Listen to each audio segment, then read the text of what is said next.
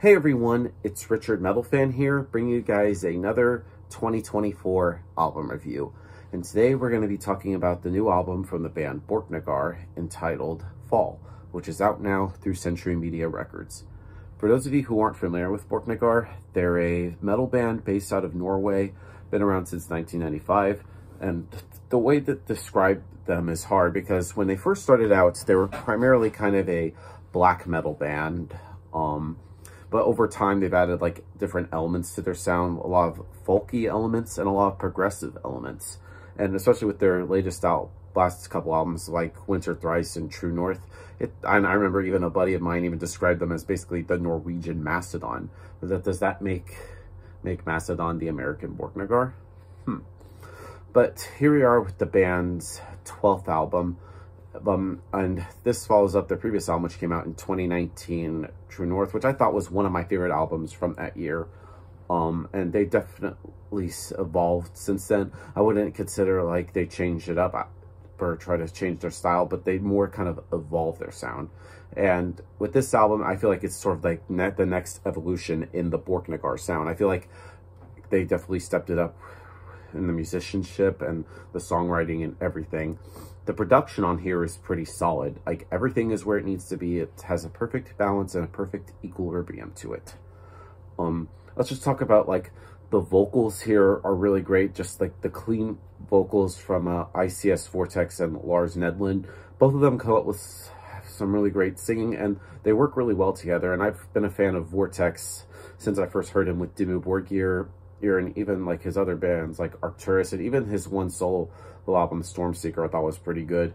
I think he's one of the best vocalists and he has a lot of powerful vibe to it. And then Lars's vocals as well, like he puts a lot of great singing to it. And just even the harsh vocals are really amazing. Even like I know no Vortex does some of them as well. Um, I just think it just really goes well. The guitar work on this album is pretty tight from Oystein Brun and Jostein Thomassen. Both of them come with some really great riffs, and then the leads and the soloing here is great.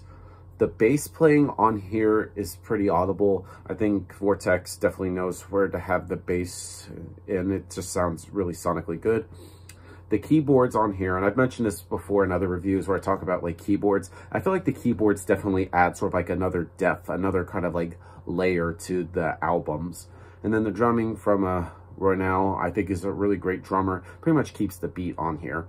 So without further ado, let's dive into this album track by track. Now the album starts with the song Summits, which is a very powerful song. And when you first heard it, it you kind of would think it's very, very complex and rather atmospheric. But then the site after like the sort of like the kind of the sciencey kind of vibe, vibe to it, especially with the keyboards and then the mid-tempo drumming. Uh, the band just pretty much goes straight in, pedal to the metal with sort of like some really sick blast beats. And I love the blast, the double bass drumming, and then the guitar layers really carried the epicness that Borknagar has in their music. And then the singing between Vortex and Lars from like the harsh and clean adds like a really great contrast to the aggression and melody in here. And then in the middle of the song, the tempo sort of slows down and gives the keyboard sort of like a room to breathe while the almost clean guitars sort of like puts like the tip of the iceberg, I guess, so to speak, with the atmospheric break. And I love like the lyrics on here great with the line, I carry my history bold and serene. Pretty much really showcases it loud and proud as the song fades away. And I think this is a really great way to start off fall perfectly. Um, moving on to Nordic Anthem. Now, this song starts off with a sort of like a folky kind of intro with some really great percussion, which sort of like changes up the album a little bit without dismissing the atmos atmosphere at the vocalisms. And then the clean vocals on here really shine well again with lyrics such as, this is our home, our life is free, from coast to mountain, we will never bend our knee. It's a really powerful song, and I feel like, well, I can interpret it, I feel like it talks about like everyone who stands against any oppression in here. And I think it's a really great song with a really powerful message behind it. Next song on here is called Afar. Now, this song, when you first hear this, you find yourself headbanging until the, the clean song bridge right in there, and then the chorus adds like a sing-along to it.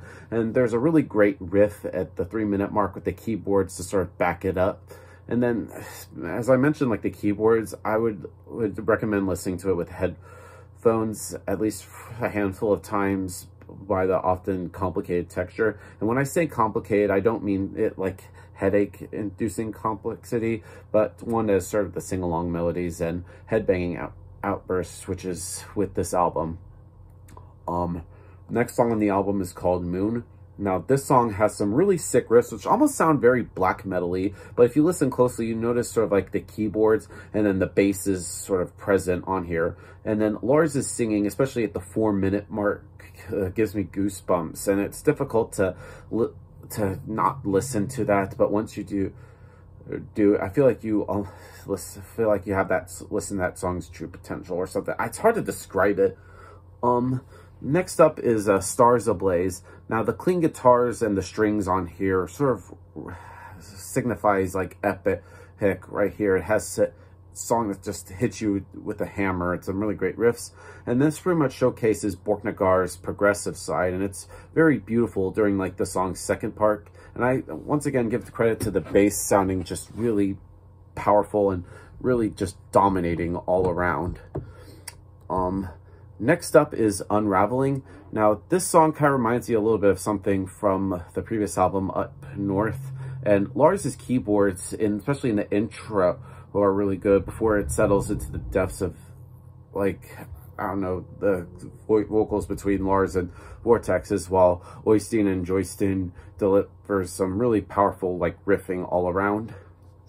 Next song on the album is called The Wild Lingers. Now, this song, when I first heard it, it was kind of odd, but I say this in a good way.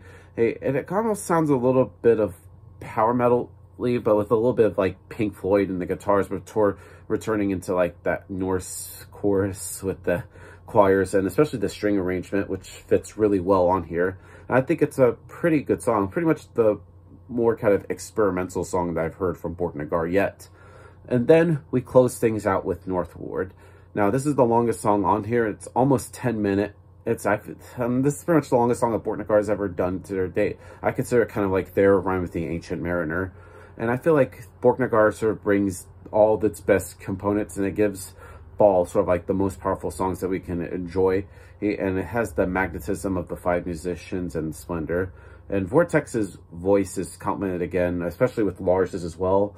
And then Oystein and Stein's riffing is great. Then, then Ice, then Jostein's riffs and leads that has come up with great. And a, pretty much a very glorious song, very progressive, very black metal at times. A really great way to end this album. Now, overall, Fall by Borknagar, another great addition to the discography. So far, definitely you know, great listen from start to end when I first heard this. Uh, it's gonna probably get better even more and I listen to it more and more. So overall, I'm gonna give Fall by Borknagar a solid 10 out of 10. So far, it's looking to be one of my favorite albums for 2024. So yeah, that's my review of the new Borknagar album, guys. Let me know in the comments what you guys think about it, and I'll see you all in the next video. And as always, keep it metal.